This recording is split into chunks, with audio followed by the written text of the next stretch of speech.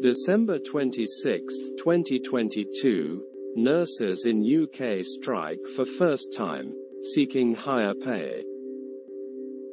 The walkout is just one of a series of industrial actions across Britain this month as ballooning inflation, rising interest rates and a recession put pressure on workers.